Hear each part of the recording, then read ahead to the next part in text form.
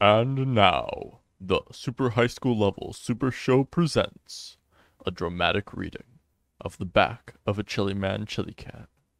Anyone can throw onions, garlic, spices, and red beans into a pot and hope for the best. Some actually do. But no one can put ingredients together like the Chili Man, Joe DeFrates.